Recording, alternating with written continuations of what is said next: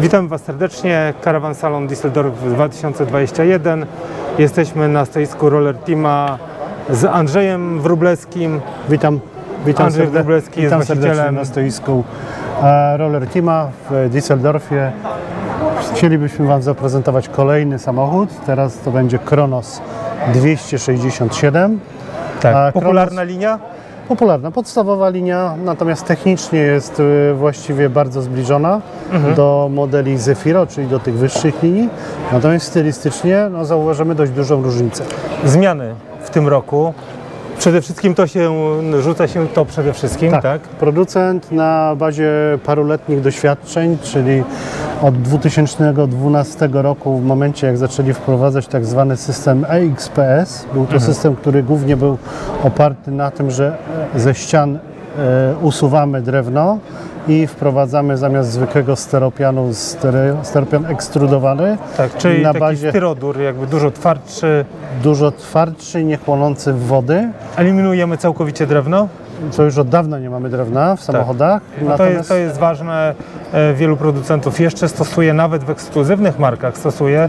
Oczywiście są technologie zabezpieczania tego drewna, aby tam w żaden sposób się ta wilgoć nie dostawała, bo drewno jednak ma jakieś tam troszeczkę lepsze właściwości, ale ten styropian ekstrudowany jest dużo bardziej taki jakby łatwiejszy w eksploatacji. nie? Drewno zostało zastąpione może nie samym steropianem ekstrudowanym, tylko dodatkowym tworzywem w formie pianki, która jest e, znacznie bardziej wytrzymała niż e, steropian ekstrudowany.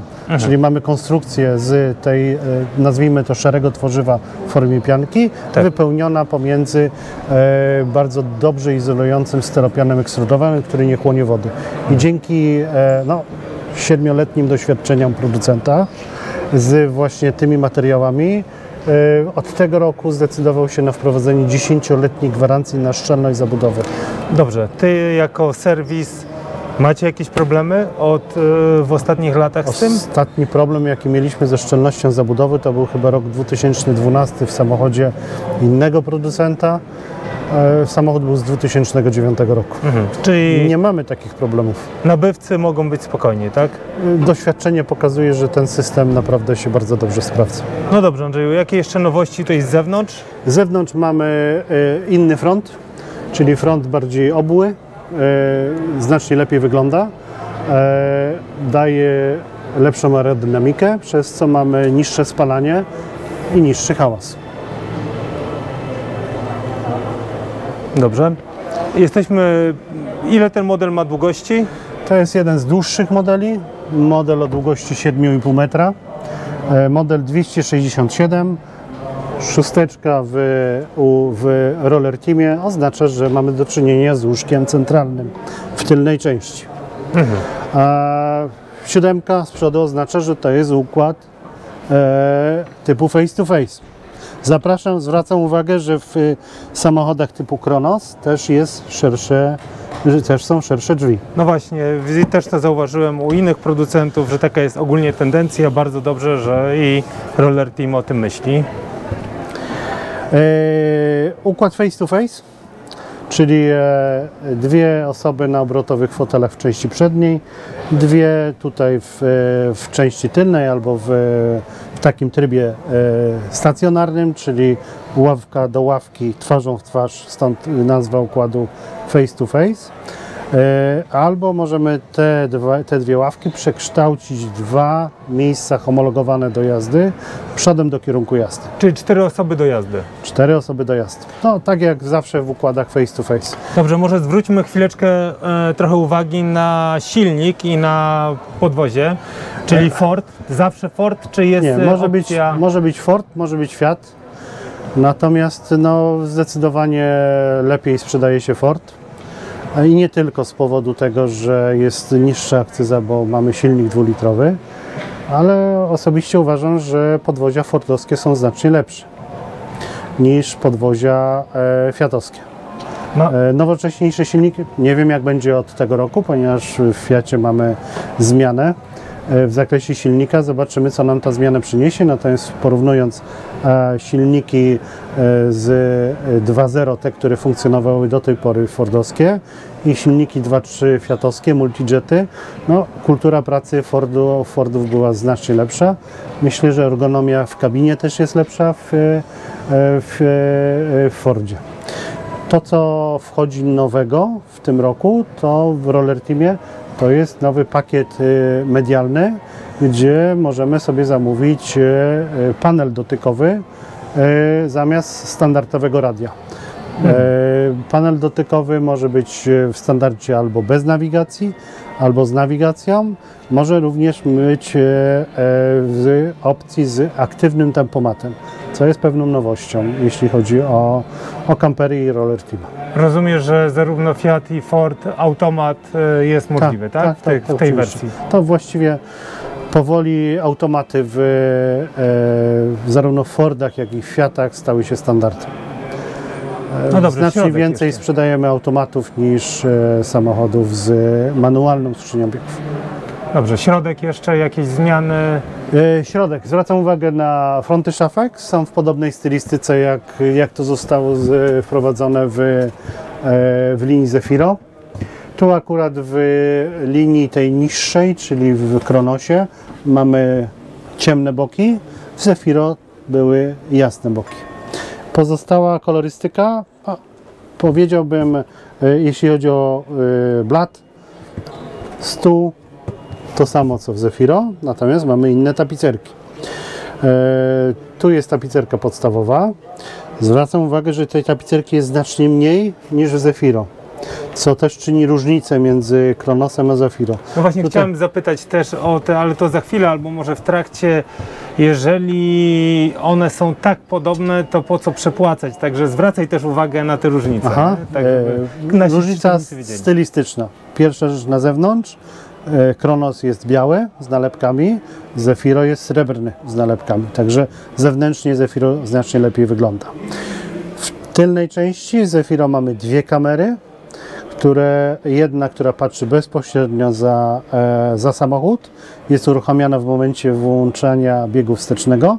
I druga kamera, która patrzy mniej więcej 300-400 metrów z tyłu za samochód, czyli dokładnie działa tak samo jak, e, e, jak lusterko wsteczne, a i biorąc pod uwagę, że monitor w Roller Teamie jest ustawiony e, w miejscu, gdzie jest lusterko, możemy sobie na bieżąco patrzeć, co się dzieje z tyłu za samochodem z e, tej kamery, która znajduje się z tyłu za samochodem. W Kronosie mamy tylko jedną kamerę, która patrzy bezpośrednio za samochód. Ale rzeczywiście to jest, to jest również ważne, ponieważ mając taki obraz ogólny, też łatwiej nam jest manewrować, bo wiemy, czy nas coś za chwilę zaskoczy, czy nie. A jak patrzymy bezpośrednio w tył, to, to jest troszeczkę trudniej, nie? No, ta kamera jest bardzo istotna. E, z technicznych rzeczy w y, Kronosie mamy nagłośnienie tylko w części kabinowej. W Zefiro jest nagłośnienie w całym samochodzie. Czyli e, zarówno w części kabinowej mamy głośniki, jak i w części mieszkalnej mamy, mamy, mamy głośniki.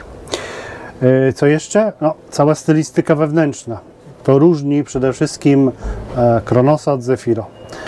Tapicerki, jakość tych tapicerek, ilość tych tapicerek. Te tapicerki, Tych tapicerek jest znacznie, znacznie więcej. A tutaj w tym samochodzie nie mamy wywiecznika tego dachowego 28 na 28. Jest mały tylko wywiecznik e, toaleta tutaj e, Sebastian z tej strony.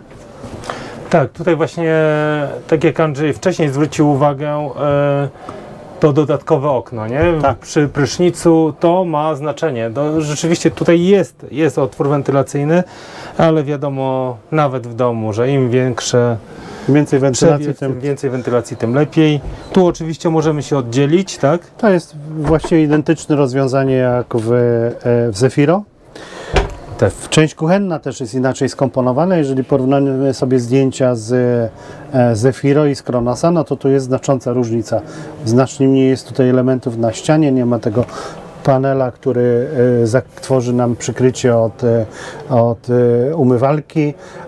Nie ma tylu elementów, gdzie możemy sobie przyprawy poukładać. Nie ma tego elementu na ekspres do kawy. Także tu jest dość dużo, dość dużo różnic części kuchennej. No właśnie, dobrze, że robimy ten materiał, bo te różnice są jednak widoczne. Ja myślałem, że tych różnic jest zdecydowanie mniej i już chciałbym powiedzieć, że po co, po co Zefiro, jak mamy Kronosa, ale jednak tych elementów, róż, tej, tej różnic jest dużo. Nie? No to klienci podejmują decyzję, jak wchodzą do jednego samochodu, czyli do linii Kronos i wchodzą do Zefiro, większość z nich jednak wybiera Zefiro, mimo różnicy cenowej. No dobrze, to może poprowadzisz nas do tyłu jeszcze? Zapraszam, zapraszam do tyłu.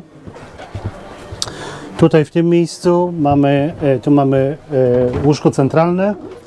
Tutaj e, w tej chwili jest umieszczone na, jest opuszczone, czyli raczej jest na niższej wysokości. Możemy mniej więcej podnieść do tej wysokości, czyli gdzieś jakieś 30 cm, co zwiększy nam przestrzeń bagażową, przestrzeń bagażową garażu.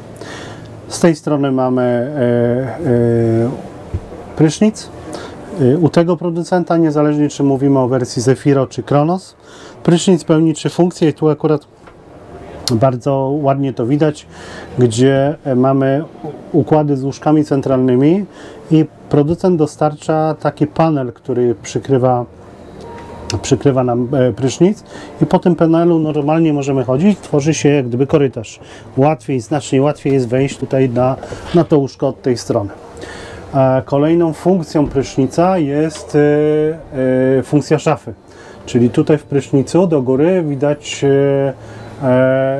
element, gdzie możemy sobie zawiesić elementy e, garde, garderoby, dłuższą garderobę i traktować prysznic jak szafę.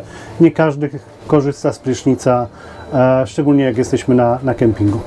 No i ostatnia funkcja prysznica to po prostu funkcja prysznicowa. Tutaj mamy z tej strony e, łazienkę, toaletę. E, bardzo ciekawie skomponowana, wystarczająco duża, miejsca dużo na nogi, e, duże lustro, e, 230 V. Nic więcej tu chyba nie, nie, nie potrzeba. Przy pomocy tych drzwi, jak zamkniemy, e, jak otworzymy sobie drzwi, to e, dopychając je do końca, oddzielamy się, oddzielamy część przednią od części tylnej. Tu producent e, po pierwsze stosuje zamki magnetyczne, które są znacznie lepsze od zamków tradycyjnych i dodatkowo możemy się jeszcze tutaj zamknąć, zamknąć część tylną od części przedniej, że nie można od tamtej strony otworzyć tych drzwi. Uzupełniając, myślę, że jeszcze tu jedna różnica. Tak, to jest panel. W Kronosie mamy panel, który był e, w poprzednich sezonach. Panel sterowania. W Zefiro już mamy ten nowy panel z Bluetoothem, gdzie możemy przy pomocy Bluetootha sterować e, funkcją pieca. Tutaj tego nie mamy. Czyli właśnie w tym, no- w tym nowym panelu sterowania co jest z Zefiro już wyeliminowaliśmy całkowicie panel sterowania piecem, tak? Trumy. E, nie, jesz, jeszcze nie. Aha. Jeszcze nie, on ciągle funkcjonuje. Mhm. Ciągle jest. No myślę, że to jest taka jakby przyszłość właśnie, żeby to wszystko połączyć w jedno, w taki dom inteligentny i, i sterować jednym panelem wszystkimi urządzeniami. No tak jak powoli z naszej komórki właściwie wszystkim możemy sterować prawie całym światem, tak samo może w przyszłości będzie jeden panel do wszystkiego w kamperze. Andrzeju, dziękujemy bardzo. To ja dziękuję. Idziemy do kolejnego modelu. Zapraszam do kolejnego.